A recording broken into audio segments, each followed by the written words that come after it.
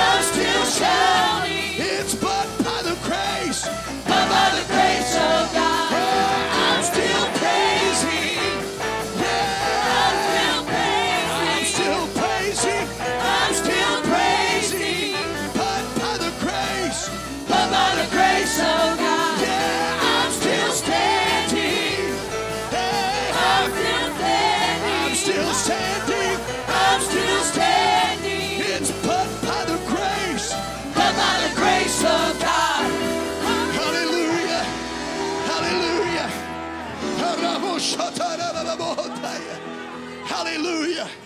Hallelujah. How many are thankful tonight that they're still in the house of God? Hallelujah. No matter what the enemy is trying to throw at you, you can look him square in the eye. The old song says, I throw my head back, look him square in the eye, and say, My foot's on the rock. My mind's made up. I'm still standing. Hallelujah. Hallelujah. Hallelujah. We serve a God that's never, ever been defeated. Never been defeated. Hallelujah. I'm glad. How many are glad tonight you worship a God that has never been defeated? You serve a God that is the King of Kings, has never lost a battle. Hallelujah. Hallelujah. Worship with us as we sing.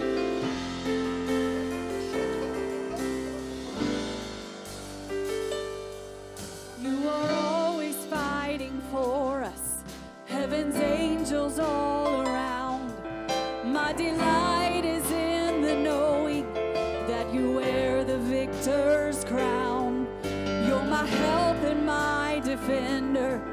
You're my savior and my friend. By your grace I live and breathe to worship you. And at the mention of your greatness, at your name I will bow down. For in your presence fear is silent, for you wear the victor's crown. So let your glory fill this temple, let your power overflow. By your grace I live and breathe to worship you.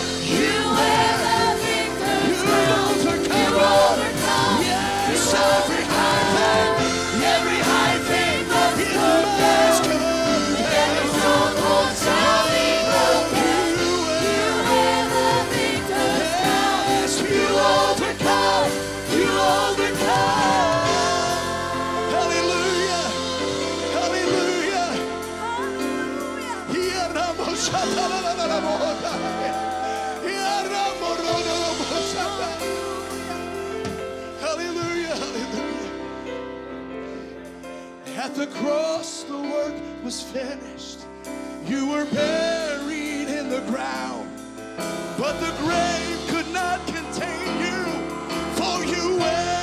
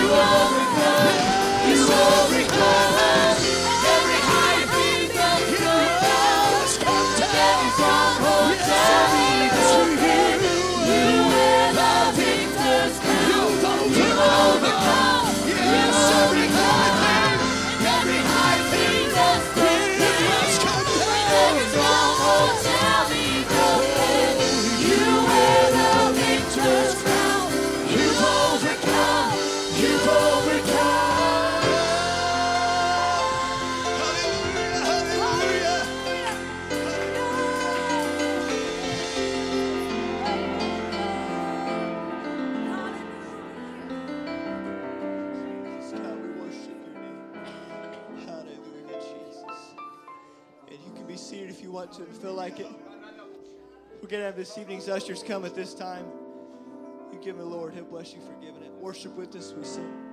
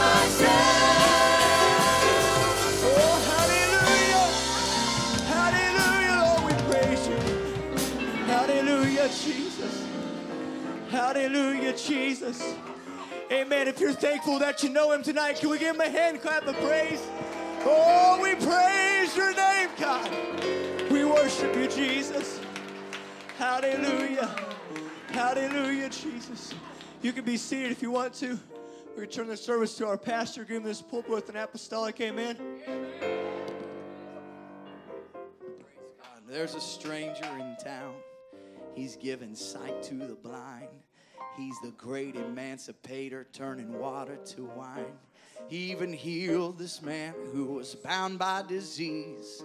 What manner of man is this whose voice can control the seas? Some say he is the great I am, the prophet spoke of. Some say he is Emmanuel, the Son of God. This stranger, oh, somebody, stranger, stranger from Galilee, say, from Galilee. He is the man, say, he is the man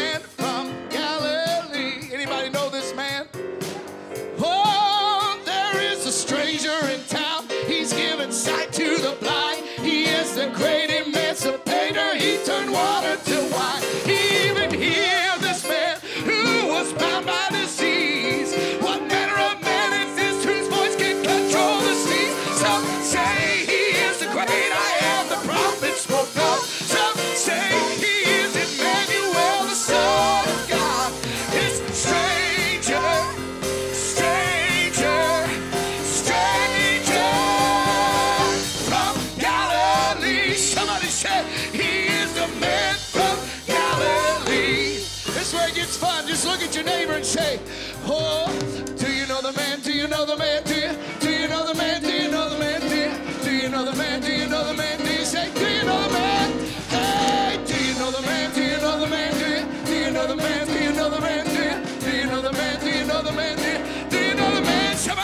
He's a stranger in town. He's given sight to the blind.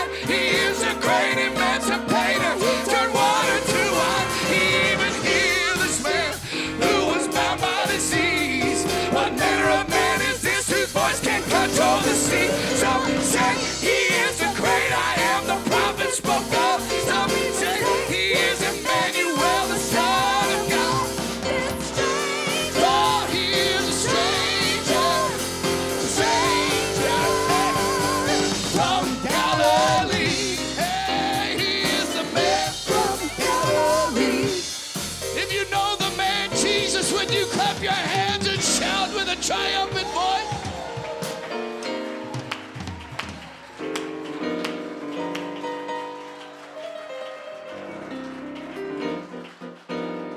Praise God. First time I ever heard Lee Stoneking preach, he said this prayer. He said, Lord, let us hear the muffled footstep of the man from Galilee. I just listened to that. I thought, man, he said, he's walking amongst us tonight. Revelation said there was an angel came to church one time. He didn't come to measure the altar, and he didn't come to measure the pews, and he didn't come to measure the benches or the or the laver. He didn't come to measure the tables of, of, of shewbread or even the golden candlestick. He didn't even come for the altar of incense or even the Holy of Holies. He came to worship. He wanted to see the worshiper. He wanted to know who was worshiping. And he brought a stick to measure the worshiper. So, my question tonight is not who is not here. My question is who is here? There's people that's sitting here tonight that's not here. I said there's people in this building tonight that's not really in this building. Your mind is somewhere else. And if the angel was here and he was measuring the worshiper, when he finds you wanting? Or even better yet, if Jesus Christ stepped in this building right now, would he know you by your praise and your worship to be a child of his? Or would he think that you're just another person sitting on a pew that's lost and confused and needs him? I come to tell you, there is somebody in this building, and if you don't know him, I would love to introduce you to him. His name is Christ Jesus. He is the Lord of Lords and the King of Kings.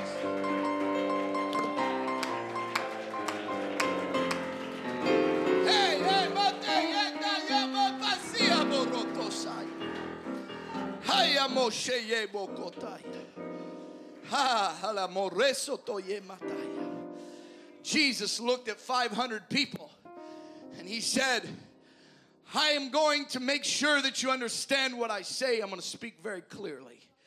I want all 500 of you to listen. Go back to Jerusalem and tarry there till you be endued from power from on high. The problem was, it was Pentecost Sunday was falling on a Memorial Day weekend. And everybody went barbecuing. And everybody went on vacation. And by the time they actually got to church, there was only 120 of them there. Somehow 380 people had went on vacation. But 120 people showed up, and 120 people changed the life of 3,000 people in just a few moments because they became contagious with their praise and worship and their speaking with other tongues as the Spirit gives the utterance. And this is that, Brother Allen. Somebody said, I want to know how do we get that? And Peter said, I'm not ashamed to tell you. I've come to tell you, uh, you got to repent of your sins uh, and you got to be baptized in the only saving name. Uh, for there is no other name under heaven uh, whereby we must be saved. Uh, and if you can do that, you shall receive the gift of the Holy Ghost. And this promise is unto you and to your children and to them that are far off, even as many as the Lord our God shall call. What are you saying, Pastor? I'm saying it didn't matter who was there or who was missing, I should say. It mattered who was there. It didn't matter how many people didn't show up, it mattered how many people did show up. I'm going to tell you something. Thomas missed the moment of the miraculous because he wasn't at the place where God was uh, when God was trying to meet his disciples. Uh, and you can miss your moment of the miraculous uh, because you decide you're not going to show up uh, when the church shows up. And I'm not just talking about being present uh, in the house of God, uh, I'm talking about being present in the presence of God. when his spirit fills the temple. I got my spirit with his spirit. We're in tune. We already talked before church started.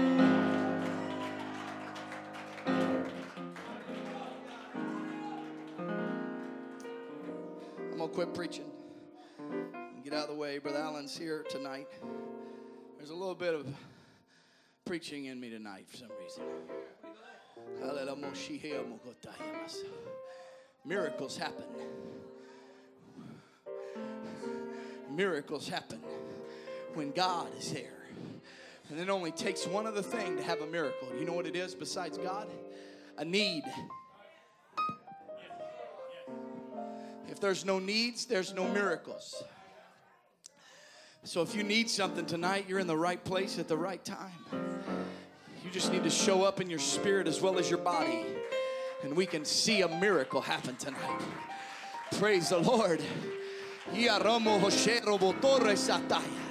There's something getting ready to break in this place while this man preaches. And it's going to be for the people that are responding to the word of the Lord Jesus Christ. If you will, I'd like for you to clap your hands and welcome this man of God to this pulpit as we go into another night of revival.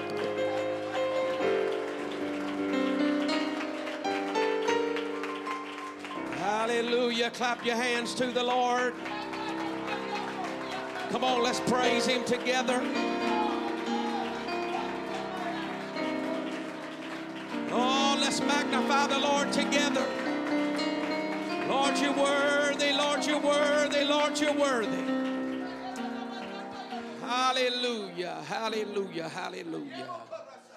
Oh, what a beautiful presence of God is in this place tonight.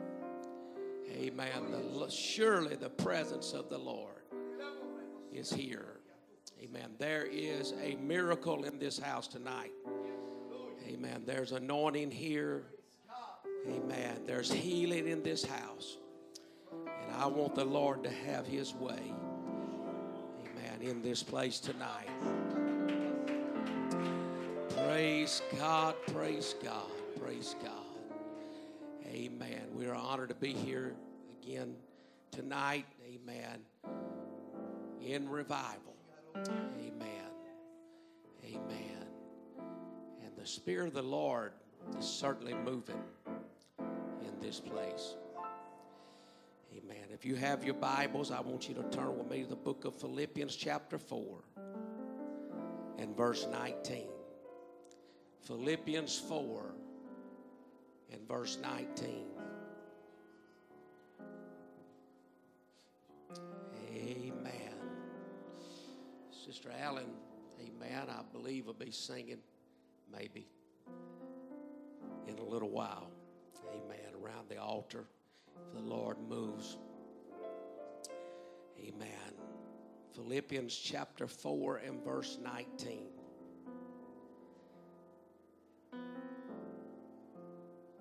But my God, everybody say, my God, shall supply all your need according to his riches in glory by Christ Jesus. Let's lift our hands to the Lord. Come on, would you lift your hands to Jesus? Come on, whisper his name. Speak his name, Jesus.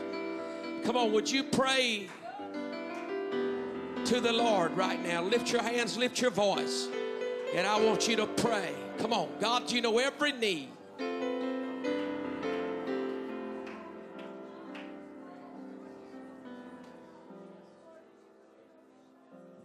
Hallelujah. Amen. I want you to reach over and grab your neighbor by the hand if it's appropriate. I want you to pray prayer of faith into their life right now.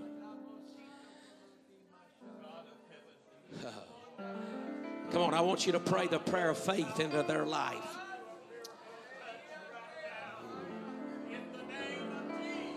Come on, pray the prayer of faith. In the name of Jesus. In the name of Jesus. In the name of Jesus. Oh, hallelujah. Hallelujah. You can be seated if you like. While you're being seated, I want you to lift your hands to the Lord and just whisper his name Jesus. Come on, come on, speak his name Jesus. Jesus. Jesus. Mm, hallelujah. Jesus. Thank you, Lord. Hallelujah. Hallelujah. Hallelujah. Hallelujah. Hallelujah. Thank you, Jesus. Thank you, Jesus. Amen. Clap your hands to the Lord. And let's give him praise together. Jesus. Hallelujah.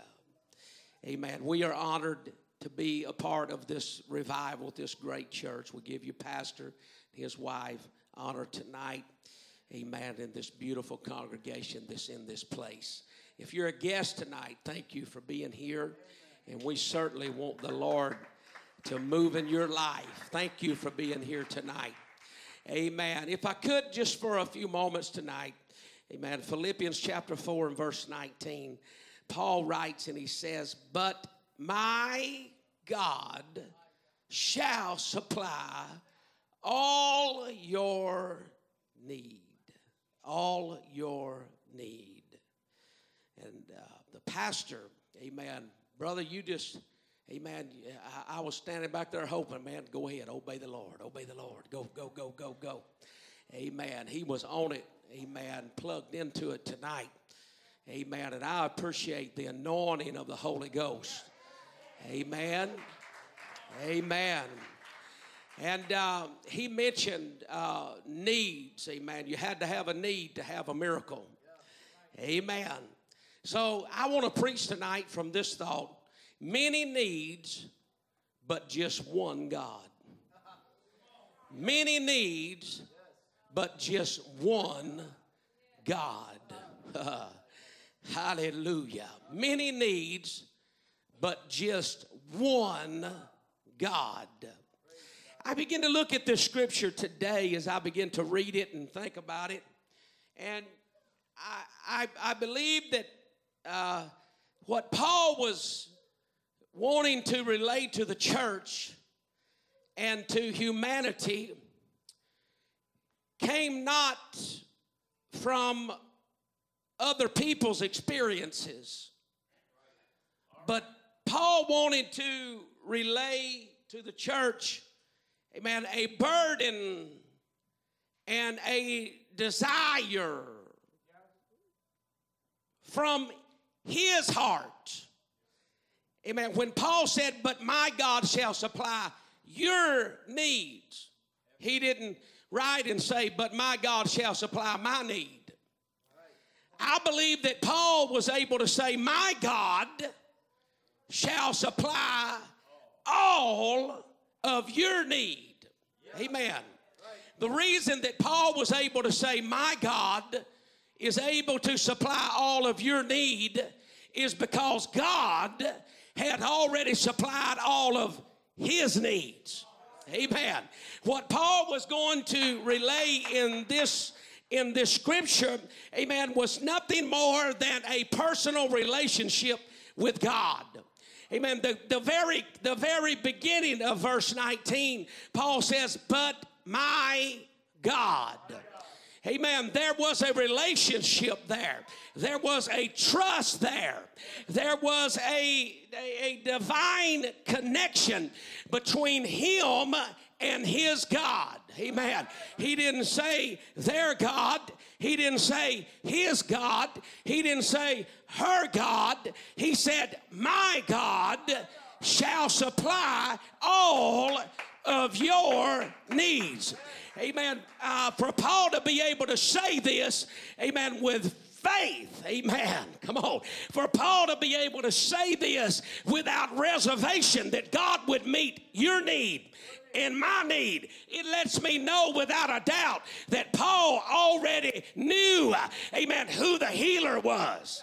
He already had a relationship with the deliverer. He already walked with the master. He already had a relationship with the one that can speak peace in the middle of the storm. Amen. Paul was able to say, God will do this in your life because God had already showed up in his life. He met him on the dusty road. He met him when they stoned him. He met him uh, in the shipwreck. He met him when they put stripes on his back. He met him when they beat the living daylights out of him. Come on, somebody. Amen. God was able, amen, to move in Paul's life. And because Paul had a personal relationship with God that hell could not do nothing about, the devil hated, amen, because uh, God rose up a man of God out of sin, out of rebellion. Come on, somebody. Amen. Paul was able to say, This is my God. Hallelujah. Amen. Paul, amen, thought about the times, amen, that he had a need that didn't that needed to be supplied. Amen. Paul was able to say, My God. Amen. The very first step for you receiving your miracle is understanding that you cannot make it on your own. You cannot survive by yourself. Amen. You don't have the power, you don't have the authority. Amen. Gold buy it, silver can't buy it, diamonds can't buy it. Amen. The world can't give it, the devil can't take it away. Hallelujah. Amen. Amen. There's got to be a faith. There's got to be a confidence. Amen. On the inside of your soul. Amen. That you know that I've got a God. Amen. When the doctor shows up and puts the x ray on the wall. Amen. And he says, There's nothing that I can do. Amen. There is an individual that can stand and say, Wait a minute. My God, a God. Amen. That can make a way out of no way. Come on. When the judge shows up and says, I can't do do nothing about this. Come on, it takes faith, amen, for you to be able to stand in the midst of your storm, in the midst of your tragedy, in the midst of your circumstance, and speak to the wind and speak to your adversary and say, Get behind thee, Satan. I've got a God that's going to make a way. I've got a God that's going to show up. Oh, I come to speak to somebody tonight, amen, and tell us, amen, you need to get something in your vocabulary, amen, that needs to become a part of you. It needs to become a part of who you are. It become, needs to be, become a part of how you talk, how you address your giant, how you look at your storm, how you look at your tragedy or your circumstance, how you speak when you walk through the shadow of the, come on, through the valley of the shadow of death. There needs to be something to rise up on the inside of you. I've got a God that will not leave me, that will not forsake me, that would come on. I've got a God that knows my name. Hallelujah. Hallelujah, my God. Amen. Amen. Before Paul said, God will meet your need. He wanted you to know that the God that was going to meet your need is my God. Come on. Amen. My God. My God. Amen. Amen. When there's cancer, I've got a God. When there's diabetes, I've got a God. Come on. Amen. When there's a bad doctor's report, I've got a God. Come on. Amen. Amen. There needs to be something in our spirit. Amen. Where faith rises, confidence rises, trust rises. Amen. It gets down on the very inside of us that we can relate to other people. Not but not based on what somebody else preached, not based on what somebody else felt, not based on what somebody else said, not based on what somebody else prayed down. And I just hung around their fire a little bit. Come on, but there's got to be something on the inside of you that raises up. My God. Oh, lift your hands and say, My God. My God. My God shall supply all of your need. Amen. Amen. Your need, most likely, under the sound of my voice tonight. Amen. There, there's probably every kind of need. Amen. That can made, be made mention here tonight. Amen. There may be somebody here tonight that received a diagnosis of cancer.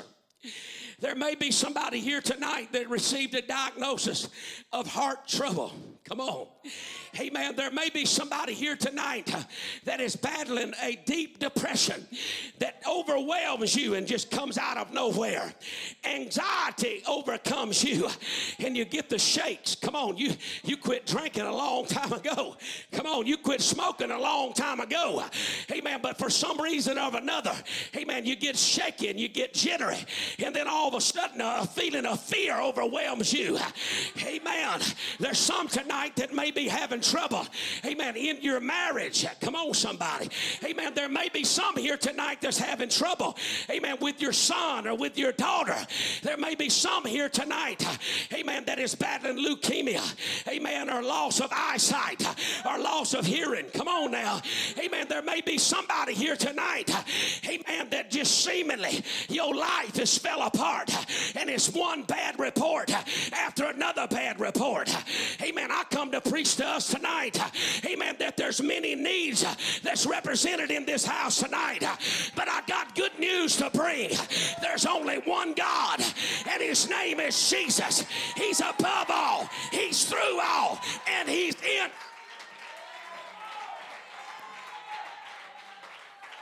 Uh, hallelujah. Amen. Amen. You can be seated. His name is Jesus. Amen. Now there are gods. Amen. There's false gods of hay. There's false gods of wood. There's false gods of stubble. There's false gods. Amen idols, amen, that you can resurrect up in your life. Amen. False gods everywhere you turn. Amen. There's many different religions. There's many different false gods. Come on. Amen. But I want to preach to you tonight that there's only one God. Come on. Amen. There's many different needs in this house. There may be cancer. There may be diabetes. There may be leukemia. There may be back trouble. There may be neck trouble. There may be foot trouble. Come on, somebody. There may be broken hearts, broken lives. Come on, messed up dreams. But I come to tell you tonight there's one God. His name is Jesus. He's a healer, He's a deliverer, He's a waymaker, He's the peace speaker. He's the first. He's the last. He's the Alpha. He's the Omega. He's the beginning. He's the ending. There is no other God. Oh, come to tell us tonight, Amen. Hear ye, O Israel.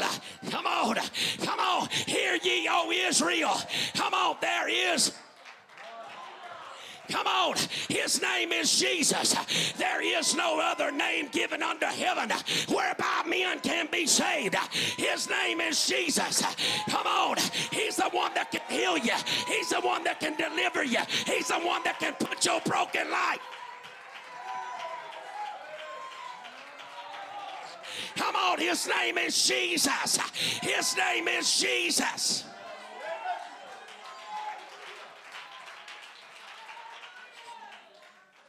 Lift your hands and love him right now. Hallelujah.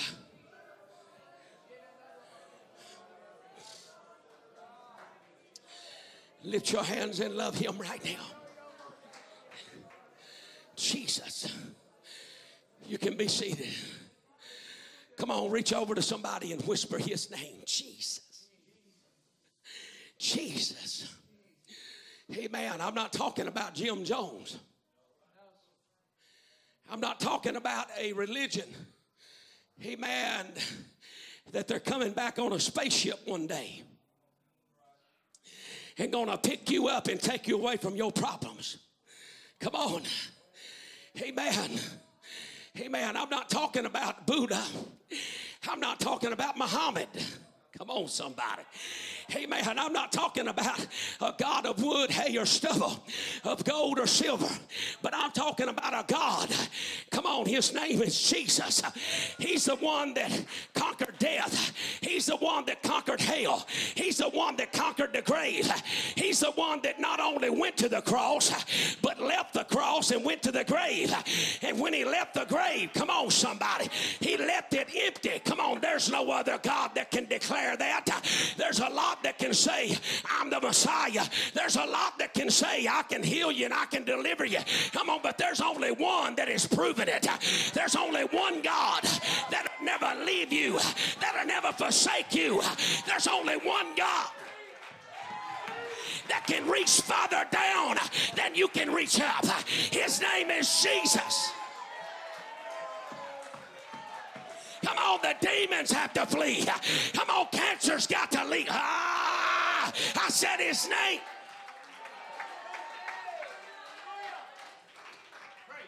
Hallelujah. Jesus. Jesus. Jesus.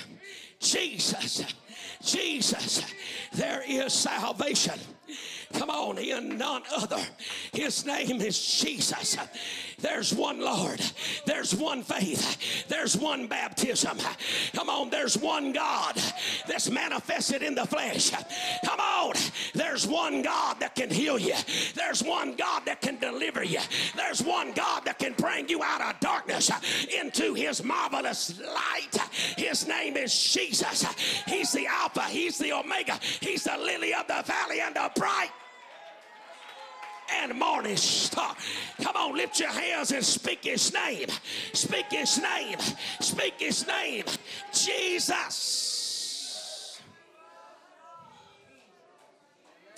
Jesus. Hallelujah. Hallelujah. There may be some here tonight, amen, that's dealing with different types of addictions. Come on, there's more addictions than just drugs or just crack or meth or heroin or marijuana. There's more addictions than alcohol. Come on. Come on. There's more addictions than tobacco. Come on, there can be addictions called where you can be addicted to pornography. Come on, somebody. Amen. Some people are addicted to gossip. Some people are addicted to backbiting. Come on, somebody. Some folks are addicted to tale bearing. Come on now. Amen. Some people, amen, are addicted to a lot of different types of things. Amen. I don't care what your addiction is. I don't care what your need is. I don't care you eh, come on about every day in the United States of America and around the world. Amen. They come up and diagnose and they name a new disease. Come on now. Amen. They're they're they're coming up with them. Amen. A lot of times when they first name them, they're just letters or X's and O's with a few numbers. Come on on, and then time progresses. Amen. And they diagnose it and, and they figure out and they put a name onto it. I come to tell you tonight, you can name it ever what you want to name it. Come on, but I got one name that's higher than any other name. I got one name, come on, that has power. Come on, that, hey, hey, man, he, he's got all power and all authority. His name is Jesus. Understand how it is.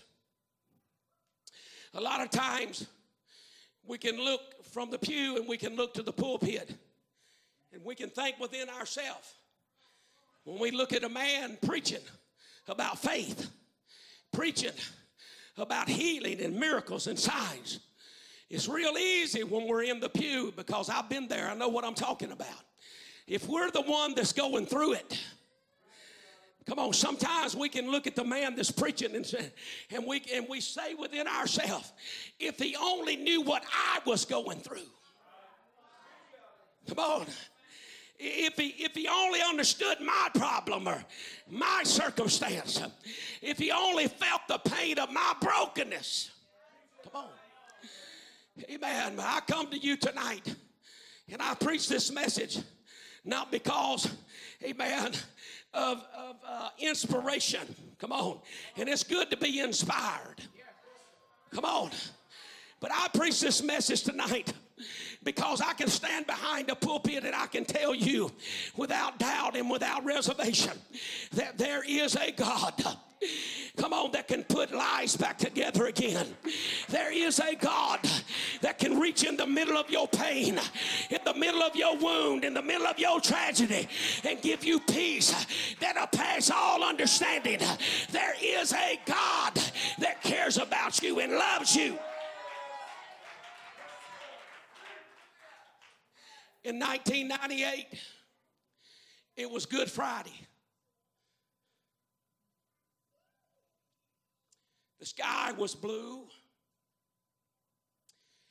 And seemingly it was a beautiful day outside. My wife and I took our two boys to, our, to their grandparents' house. And we dropped them off. We pulled out of the driveway that day. They were in the driveway waving at us. And we waved by at them, just like we'd have done hundreds of times before. And we went to Tupelo, Mississippi on a date. On you husband wives ever go on a date? Well, praise God. And so we went on our date and we went to the Tupelo Flea Market. Yes, we did. We went to that flea market to hold hands, look at junk, make goo goo eyes at one another. Come on. Amen. We do marriage retreats too. Okay. Hallelujah.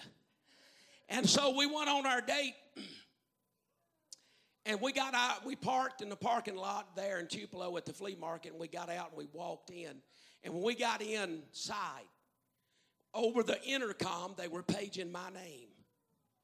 And so I took off and I, I went to the desk that they were paging me to. I found it, and when I got there, they handed me a piece of paper. And on this piece of paper, it was a, uh, a note written to me telling me to call the hospital in Amory, Mississippi, and had the phone number. And uh, said it was an emergency for me to call as quick as I could. So, as a parent, immediately you, you think, what's happened now? And we had two boys. and so I thought, well, what is it this time? And so I called and I recognized the number because it was the hospital where my mother worked for many years as an RN. And when I called the number, they transferred me back to the emergency room. And a young lady that I went to high school with and graduated with answered the phone. And she spoke to me and she told me who she was. And, and she said, Mike, she said, uh, I don't know how to tell you this. She said, but your youngest son, Caleb, he was four years old. He, she said, Your youngest son, Caleb, has been involved, involved in a serious accident. And uh, I said, well, well, well, what, what is it? How bad is it? And she told me on the phone, she said, I, I, I, I'm just going to be honest with you. She said, We've already lost him twice. And we've revived him and we got his heart beating. And as soon as they get him stable, they're going to uh, life flight him to Memphis, Tennessee, to the Children's Hospital. And I said, Well, what, what happened? And they said he was out in the yard playing, and somehow or another he got behind the riding lawnmower. And the riding lawnmower ran over our baby. It cut his leg off right at the knee. Cut it off. The only thing that it didn't cut was the main artery that ran down the back of his leg. The doctor later told us that if it would have just nicked that artery, that he would have bled out and there would have been no opportunity to revive him. But the lawnmower blade cut everything except for that artery, didn't even touch it. And so we went to Memphis, Tennessee, to the Children's Hospital. And when we walked in that place, we walked to the desk and they said, wait just a minute. And, and just a few minutes later, a doctor came out and a priest came out with him. And they grabbed us by the hand and they took us to the side room.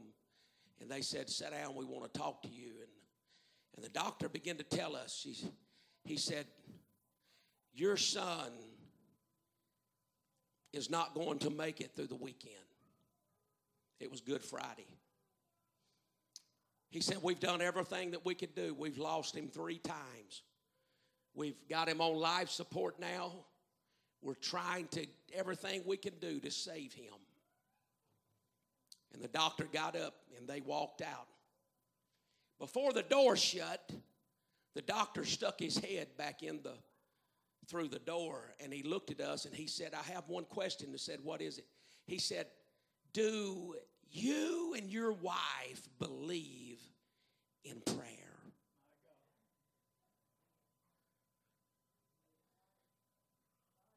And we said, Yes, Doc, we believe in prayer. And he looked at us and he said, I want you to pray that when my hands have done all that I can do, that God can do so much more.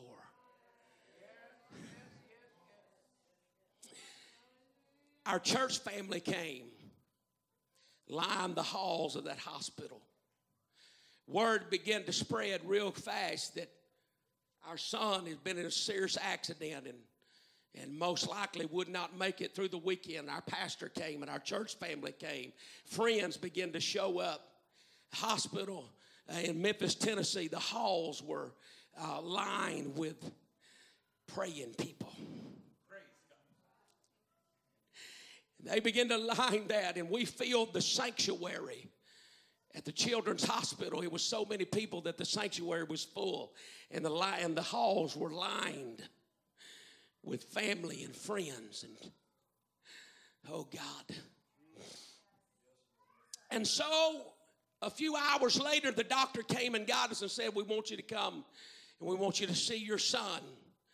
And so we walked in that hospital room, and when we walked in that hospital room, uh, we could hardly recognize our baby as his head was swollen the size of a basketball, and his body was swelled, and his hands were swelled, so much so that they split open and they began to bleed, and his feet split split open, and they began to bleed, and and and lifelines running through his body. And so we went in and we seen him, and the only thing that we could recognize that day, that dreadful night on Good Friday, was that Cotton Top. We called him Cotton Top because he had white hair and he had blue eyes, and his grandpa called him Cotton Top. And so we went in that hospital room and we began to pray with him, and we cried and we wept and and, and we'll never forget that that weekend was probably the longest weekend of our life as we prayed and we sought God. And, and Friday came and went and nothing happened. And uh, Saturday came and went and nothing happened. And Sunday came and went and nothing happened. And friends and family had to go back to their jobs on Monday and and, and, and the devil just showed up and and uh, I can only be transparent and be honest with you because I, I just I like to be honest. And the adversary showed up and said, "Look what living for God will get you, and look what you pay your tithes and you give your offering and you're faithful to church and you've and, and you've been in the ministry and you've helped other people. Now, now look what this has got you." And uh, uh, uh seemed like hell had unleashed against us, and our life had been turned upside down. Amen. And the adversary showed up that weekend. And Monday morning, our son was still alive. And he made it through the weekend. And, and a week passed, and the doc said, I don't think he's going to make it, but keep praying. And another week passed, and he was still alive. And another week passed, and he was still alive. And another week passed, and he was still alive. And my wife, uh, uh she sang she sang a song and, and she wrote the words of this song down on a piece of paper and she put it on the chart. When you come in the hospital, this song was hanging on that bulletin board. And ever, ever little while during the day and during the night, I would hear my wife begin to sing that song. And it kind of went like this. And I know the peace speaker I know him by name. And I know the peace speaker. He controls the wind and rain. Come on, Jesus. And I could hear my wife sing that song through the night and through the day. And one night around midnight, in a hospital room in Memphis, Tennessee, out of the darkness of that hospital room, we heard a voice that we hadn't heard in many days. That voice spoke to us, and the very first words that our baby said, he said, Mama, I seen God. We ran to the bedside, and I was on one side, and Mama was on the other. And I grabbed his hand and I said, Baby, what did you say? He said, Daddy, I seen God. I said, Baby, when did you see God? He said, Daddy, he said, that big old lawnmower ran over me. And he said, It hurt me. And he said, Daddy, he said, I looked up. And he said, While I was looking up, that four year old baby said, While I was looking up, he said, The hand of God came down out of heaven and covered my body. And he said, Daddy, I seen angels all around me. And he said, Daddy, the lawnmower stopped and it couldn't go no further. Come on. Amen. At four years old in the hospital room a few days later, a few days later, a, lady from our church, his, his Sunday school teacher, gave him a, a, a black board. I don't know what you call the board, but somebody make help me or whatever you call some kind of bulletin board type material. And and and and the Sunday school teacher told told our baby said said Caleb, I want you to take this and these and these uh, uh, uh, brushes that I've got, and I want you to paint a picture of what you saw God do. Come on. And Caleb drew a picture of him laying on the ground. He drew a picture of the lawnmower. And then he drew a picture of a hand come down out of heaven and covering him. And he drew angels all around him that day. We still got the picture to this day. A few days, the next morning, the doctor came in and the doctor said, I heard y'all had a little disturbance last night.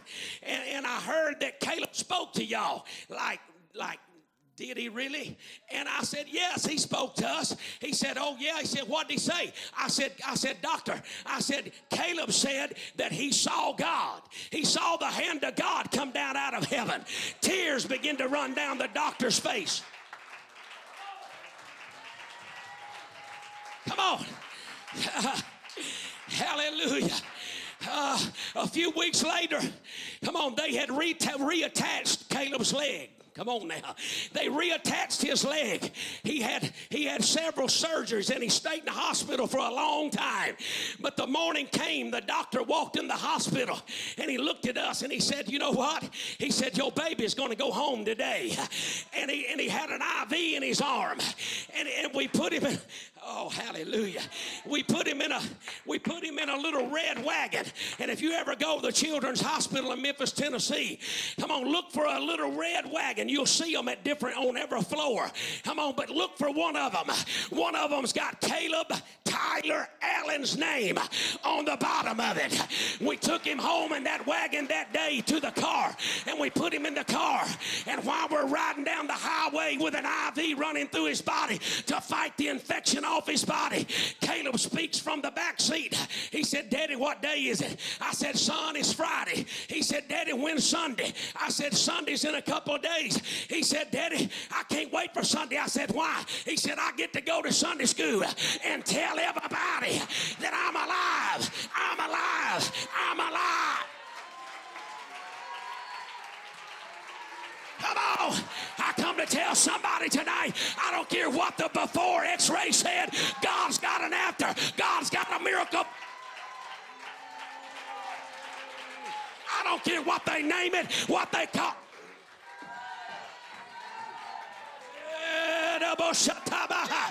Hey, hallelujah, hallelujah, hallelujah. July, July the 20th of this year, in just about a month and a half, Caleb's going to turn 22 years old. They said he never would walk, but he did.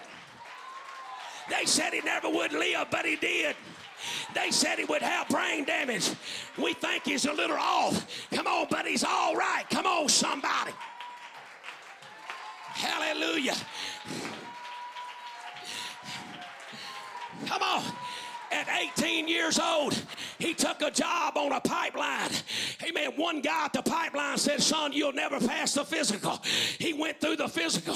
The doctor looked at him and said, Son, you're a walking miracle. Get out there and go to work. Come on.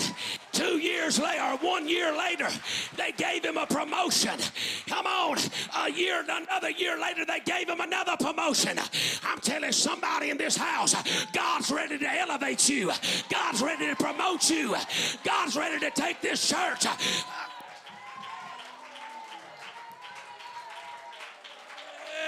Hey, hey. Come on, if you need a miracle. I want the ministry to come with the anointing oil right now. There is a supernatural move of God in this place tonight. They're coming to the music. Come on. They're coming to the music right now. Ministry, would you come and get ready to help me pray? Pastor, would you pour the anointing oil on the men of God's hands? I want you to pour the oil on their hands. I don't care if you got an addiction. I don't care what the doctor said. If you got a bad report, I don't care if you're going through tragedy, turmoil, hurt, pain, or tears, I want you to step out of your pew right now. Make your way to this front. We want to lay hands on you. If you hadn't been baptized, I want you to come. Let your pastor know I want to be baptized. If you hadn't received the gift of the Holy Ghost, I want you to come.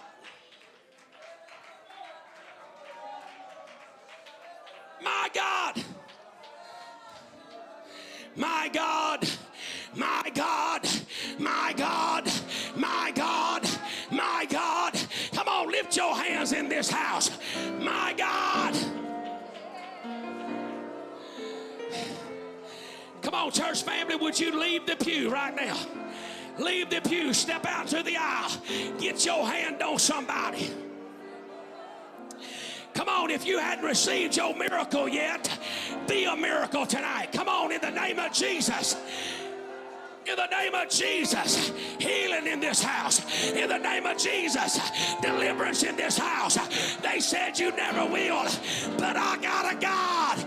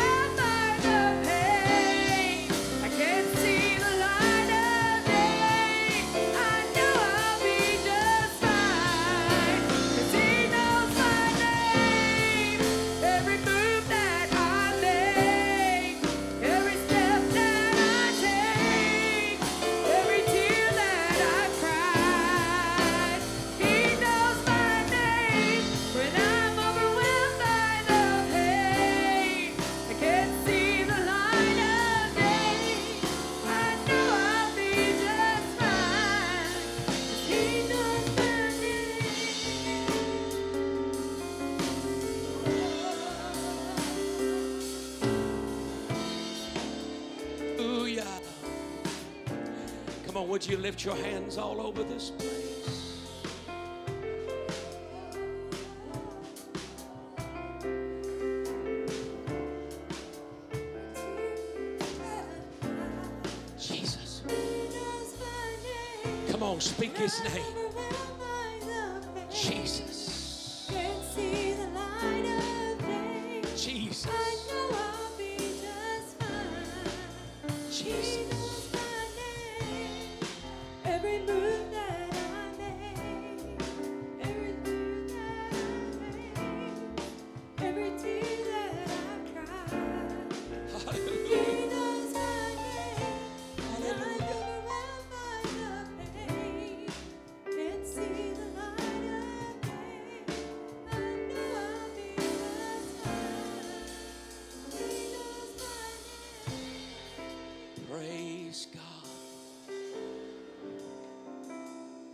If Caleb was here tonight and he walked in this place, when you look at our son,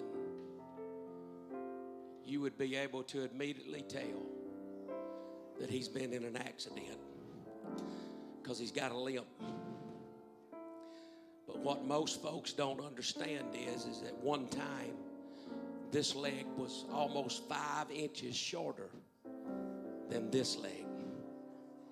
Now it's about three quarters of an inch shorter than the other leg. Some people look at Caleb and say, Oh, what a tragedy. But we look at Caleb and we automatically know that our son has been in the presence of God. Come on. Come on, no matter what your circumstance is, no matter what your situation is, no matter how dark it is, I want you to let the Lord overwhelm you in this place tonight.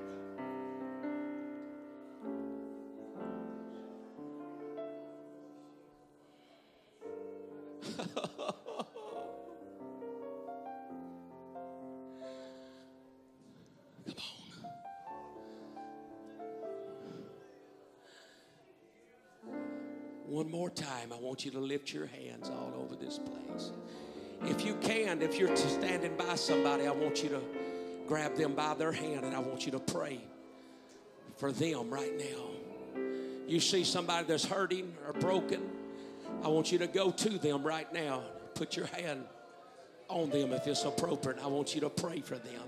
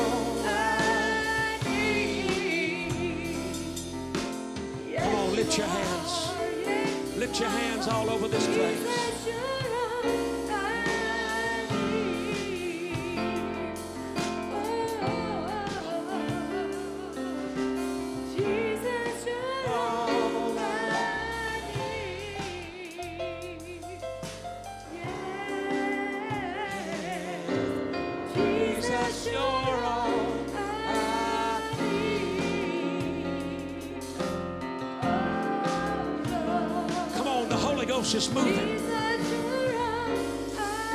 Shh. Come on, the Holy Ghost is moving.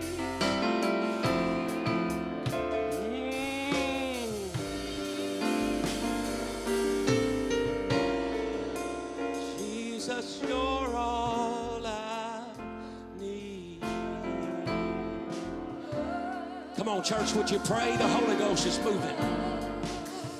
Come on, keep praying, keep praying, keep praying, praying, keep praying. It's my every moment. Lord, you calm my raging sea. Come on, let it flow.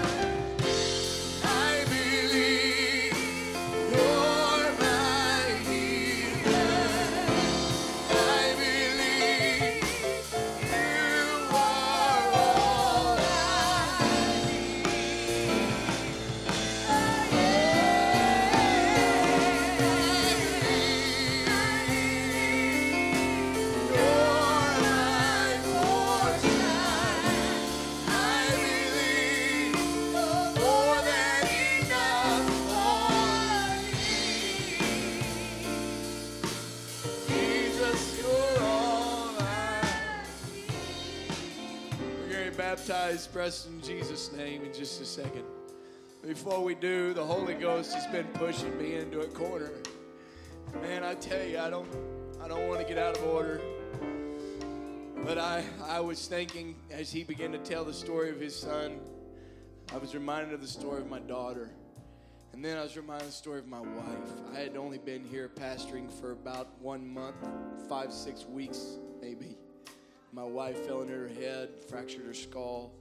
Before we got to Methodist Hospital, God had changed that, and her skull was no longer fractured. They said, Mr. Vanley, we can't tell you when she'll respond, if ever. We don't know if she'll ever respond. They said, we just, it's just a hope and pray thing, but if her brain keeps swelling and bleeding keeps happening, he said, we're going to have to do surgery, cut her skull out. We're going to have to remove the pressure on the brain. She'll never be the same. And uh, God took care of that. In four days, I was pushing my wife out of Methodist Hospital, out of the neurocritical care.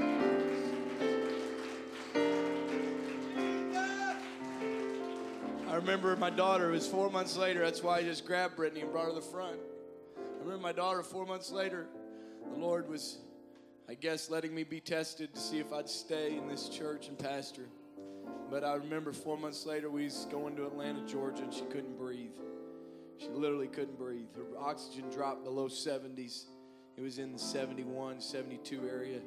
And they said, Mr. Van Loo, we're just going to be honest. We can't get her oxygen up. We've put oxygen straight into her nose. We can't get it up. They said, we're going to have to do a lifeline, what they call a lifeline semi. And uh, I remember driving behind that semi. My wife got to ride in the semi. I was driving behind it in the Suburban. I was praying, talking to God. I said, God, I don't even know if you know where I'm at. I know what it's like to feel helpless and hopeless, but I also know what it's like to get on this side of the miracle and realize what God can do.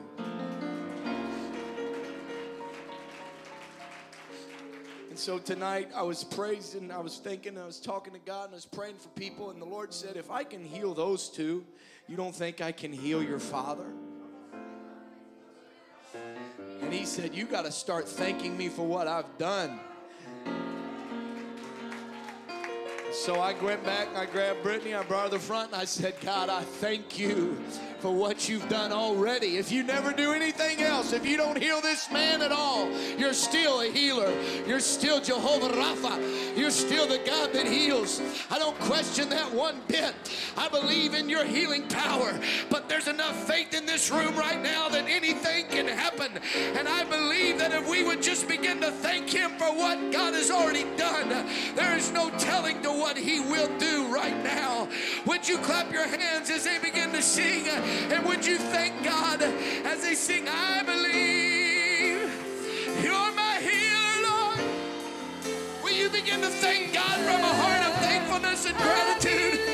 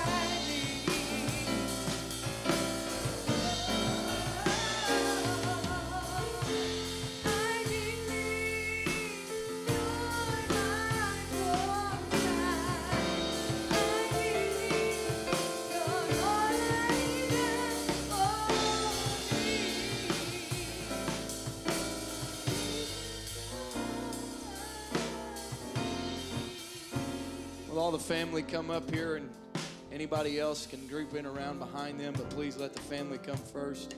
Let the family get up here around the baptismal.